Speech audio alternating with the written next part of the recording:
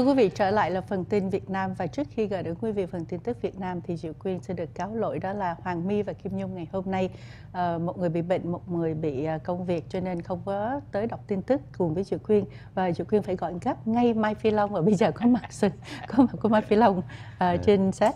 Cảm ơn Mai Phi Long rất vâng. nhiều. Cảm ơn chị Diệu Quyên và ban kỹ thuật phải chờ vì Long phải chạy gấp đến. Dạ. Thì chắc là từ nãy giờ chắc quý vị cũng được à, là một mình chị Diệu Quyên hầu chuyện. Vậy thì bây giờ từ bây giờ trở đi là Mai Phi Long sẽ đọc hết bản tin từ bây giờ cho tới vâng vâng thưa quý vị chị nói giỡn với Mai Phi Long một chút thôi. Cảm ơn Mai Phi Long. Và sau đây chúng tôi xin được gửi đến quý vị tin có liên quan đến Việt Nam. Tin cho hay có hai tù nhân lương tâm đã được thả tự do và để đến Hoa Kỳ. Nhân dịp Thủ tướng Cộng sản Việt Nam đến Washington. Phần tin chi tiết Mai Phi Long gửi đến quý vị như sau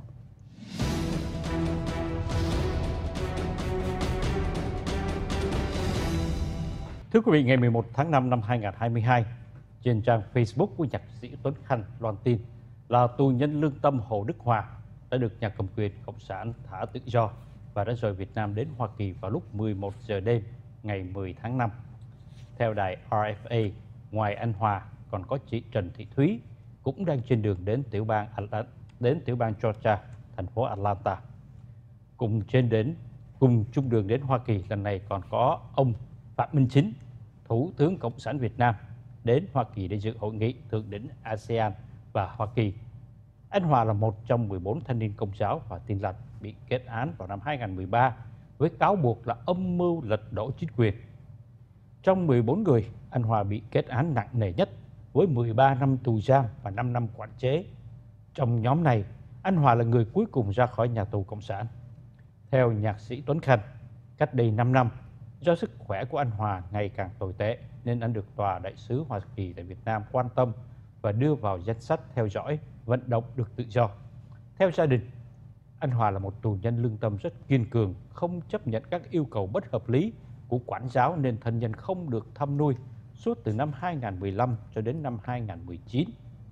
Còn chị Thúy thì bị kết án 8 năm tù giam và mãn hạn tù vào năm 2018 cũng như tội danh anh Hòa.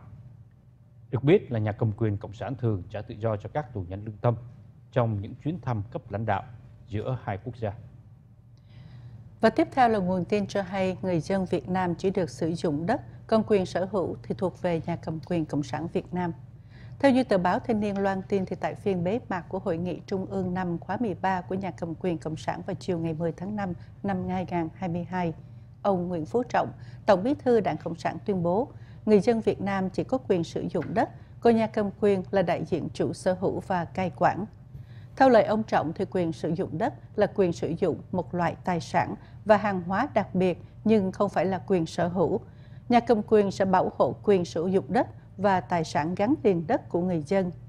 Nhà cầm quyền có quyền thu hồi đất để sử dụng vào các mục đích quốc phòng, an ninh, phục vụ lợi ích quốc gia, lợi ích công cộng và các dự án phát triển kinh tế xã hội nhà cầm quyền thống nhất cai quản đất đai theo lãnh thổ quốc gia cả về diện tích lẫn chất lượng, giá trị kinh tế, văn hóa, xã hội, quốc phòng, an ninh và môi trường.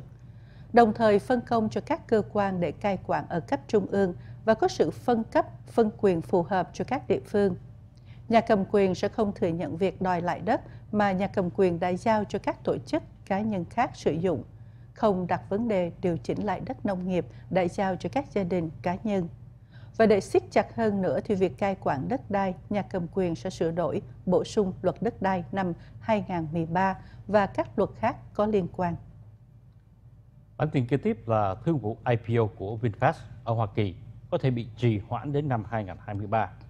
Thưa quý vị, Chủ tịch công ty Vingroup Việt Nam hôm thứ Tư cho biết là đợt phát hành cổ phiếu lần đầu ra với công chúng được gọi tắt là IPO của hãng xe này tại Mỹ có thể sẽ bị trì hoãn đến năm sau do những yếu tố bất ổn của thị trường. Theo nguồn tin từ Reuters, đợt IPO của công ty dự trù sẽ diễn ra vào tháng cá nguyệt thứ tư năm nay. Ông Phạm Nhật Vượng, Chủ tịch Vingroup cũng cho biết tại Đại hội đồng thường niên của công ty rằng là công ty công ty ưu tiên đầu tư phát triển VinFast cũng như đề ra mục tiêu doanh thu lớn. Ông cho biết đợt IPO này không chỉ để gây quỹ mà còn nhằm tiếp thị và khẳng định vị thế của VinFast trên toàn cầu. Công ty mẹ có trụ sở tại Singapore của VinFast để đơn xin IPO với các cơ quan quản lý chứng khoán Hoa Kỳ. cho biết công ty sẵn sàng đầu tư 4 tỷ Mỹ Kim để xây dựng một nhà máy ở Hoa Kỳ. Ông Vượng cũng phát biểu tại cuộc họp rằng nhà sản xuất xe hơi đang gặp trở ngại trong việc ma mua các bộ phận từ Trung Quốc. Ông Vượng tìm cách chấn an các cổ đông khác, khẳng định là công ty vẫn sẽ tiến hành IPO cho dù thị trường có bất ổn đến đâu. VinFast bắt đầu hoạt động vào năm 2019, đang đặt cược lớn vào thị trường Hoa Kỳ, nơi họ hy vọng sẽ cạnh tranh với các nhà sản xuất xe hơi với hai mẫu SUV chạy bằng điện và mô hình cho thuê pin. Theo kế hoạch, VinFast hứa tạo ra 7.500 việc làm tại nhà máy ở tại North Carolina, Carolina, nơi chế tạo ra các mẫu SUV VF8 và VF9 chạy bằng pin. Công ty cho biết là họ có kế hoạch bắt đầu xây dựng nhà máy sau khi giấy phép được cấp với mục tiêu bắt đầu sản xuất vào năm 2024. Và tiếp theo là bản tin sau đây cho hay cộng đồng người Việt khắp Hoa Kỳ chống sự hiện diện của Thủ tướng Cộng sản Việt Nam Phạm Minh Chính. Thưa quý vị, một lá thơ xin được gửi đến quý thân hữu và đồng hương thông tin cập nhật về những cuộc biểu tình chống Phạm Minh Chính, Thủ tướng Cộng sản Việt Nam trong dịp đến Hoa Kỳ tham dự hội nghị thượng đỉnh Hoa Kỳ ASEAN như sau. Biểu tình trước Tòa Bạch Ốc ngày 13 tháng 5 từ 8 giờ sáng tới 11 giờ sáng. Ban điều hợp sẽ có xe bus đưa ra địa điểm biểu tình từ Eden Center tại Falls Church, Virginia. Các xe bus sẽ khởi hành vào lúc 7 giờ 30 phút sáng. Xin liên lạc ông Đặng Vũ Chấn tại số điện thoại 202 603 4751 202 603 4751. Biểu tình tại San Francisco vào ngày 17 tháng 5 do Liên ủy ban chống Cộng sản và Tây Sai kêu gọi phối hợp cùng với các hội đoàn Bắc California để biểu tình tại San Francisco vào sáng ngày 17 tháng 5 năm 2022. Tại miền Nam California, các hội đoàn hoặc cá nhân muốn tham dự xin ghi danh trước để liên ủy ban lo mướn xe cũng như chuẩn bị các nhu cầu cần thiết khác. Xin cho biết, tập trung ngay tại đền thờ Đức Thánh Trần trước 2 giờ sáng vào ngày 17 tháng 5 năm 2022. Xin quý vị liên lạc ông Phan Kỳ Nhân tại số điện thoại 657 334 8450 657 334 8450 hoặc đến ghi danh tại đền thánh mỗi ngày từ 10 giờ sáng đến 4 giờ chiều. Dân biểu Alan Lowenthal tổ chức họp báo trước thềm hội nghị thượng đỉnh ASEAN Hoa Kỳ. Thưa quý vị, dân biểu Alan Lowenthal thông báo sẽ tổ chức một cuộc họp báo tại ngũ sắc đài vào lúc 9 giờ sáng ngày 12 tháng 5 năm 2022 nhằm kêu gọi sự chú ý của người dân đến các vấn đề nhân quyền trong chính sách của Hoa Kỳ đối với các nước thành viên ASEAN, bao gồm Việt Nam, Cambodia, Lào và Miến Điện. Tham gia với dân biểu Loanto sẽ có dân biểu Lu Korea, thành viên Quốc hội thảo luận về Việt Nam và dân biểu John Kim, thành viên Quốc hội Hoa Kỳ thảo luận về Cambodia. Những hành vi vi phạm nhân quyền của các quốc gia này đã dẫn đến một cuộc khủng hoảng nhân đạo ở tại Miến Điện, xóa bỏ các cuộc bầu cử tự do và công bằng ở tại Cambodia và buộc các nhà báo, những người chỉ trích chính phủ và các nhà lãnh đạo tôn giáo ở Việt Nam phải im lặng. Các diễn giả được xác nhận sẽ tham gia vào cuộc họp báo bao gồm ông Hoàng Tứ Duy, phát ngôn viên của Việt Tân, bà Caroline Nash là giám đốc vận động chính sách châu Á của tổ chức ân xá quốc tế và bà Lynn Win Nang là thành viên của Liên minh vận động chính sách Hoa Kỳ cho Miến Điện. Buổi họp báo diễn ra cùng thời điểm với một loạt các cuộc họp tại Washington mà Tổng thống Biden sẽ tổ chức từ ngày 12 đến ngày 13 tháng 5 với lãnh đạo các quốc gia Đông Nam Á bao gồm Việt Nam, Cambodia, Lào và Miến Điện. Các nhà lãnh đạo sẽ có mặt tại Washington để tham dự hội nghị cao cấp đặc biệt ASEAN Hoa Kỳ diễn ra từ ngày 10 đến ngày 14 tháng 5.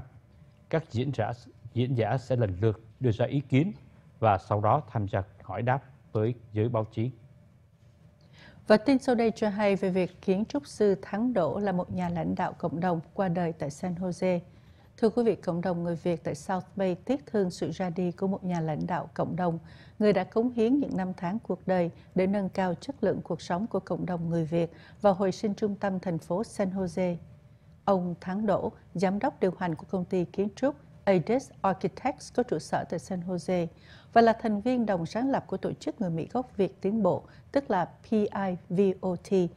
Ông vừa qua đời vào hôm Chủ nhật do vấn đề sức khỏe ở tuổi 62.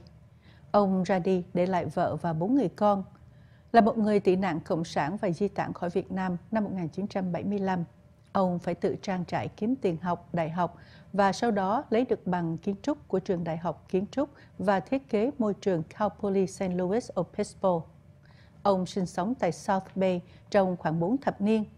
Ông từng là ủy viên quy hoạch San Jose và thành viên hội đồng quản trị của Hiệp hội San Francisco Bay Area Planning. Ông đóng vai trò quan trọng trong nỗ lực hồi sinh trung tâm thành phố San Jose. Ông hợp tác với thành phố, các tổ chức phi lợi nhuận và các doanh nghiệp để góp phần đổi mới South First Street và Sofa District. Vào năm 2017, ông Đồng sáng lập tổ chức người Mỹ gốc Việt cấp tiến PIVOT để hỗ trợ cộng đồng người Việt trước thời chính quyền cựu Tổng thống Trump. Thị trưởng San Jose Sam Liccardo cho hay rằng, trong một bài đăng trên mạng xã hội là có nhiều người dân tại South Bay đã vừa mất đi một người bạn vào cuối tuần này và đây cũng là một sự mất mát to lớn đối với cộng đồng. Kiến trúc sư Thắng Độ đã ban tặng vẻ vang và vẻ đẹp cho thành phố với mọi thứ mà ông thiết kế tại Edis Architecture bằng một niềm đam mê mãnh liệt. Xin quý vị tiếp tục chú bằng tầng SPTN. Chúng tôi sẽ quay trở lại ngay sau ít phút thông tin thương mại.